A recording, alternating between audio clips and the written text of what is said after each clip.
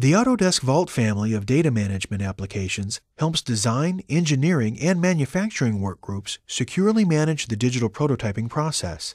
This reduces time spent organizing files, helps avoid costly mistakes, and provides a more efficient release and design revision process. Connecting all the work groups and sharing design data is the important role that Autodesk Data Management plays in the creation of a digital prototype. The Vault data management tools provide access to critical design information, enabling teams to make smarter decisions. Autodesk Vault software allows design work groups to track all the design components for the digital prototype created in Inventor, helping coordinate design efforts between different departments.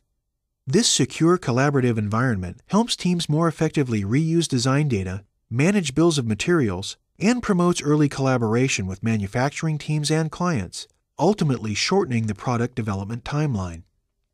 Vault simplifies the process for creating an engineering change order. When collaborating with other team members, it's essential to capture pertinent user and time information so there is accountability and traceability throughout the entire process. When the ECO is submitted, team members are automatically notified of the tasks they need to perform.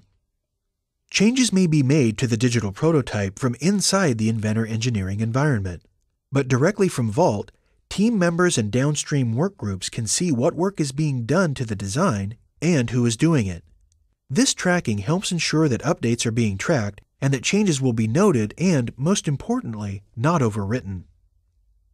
Automating these engineering change and release processes shortens product development time, helps improve product quality, and increases the ability to leverage standard design processes, while better enabling collaboration between design, manufacturing, and the supply chain.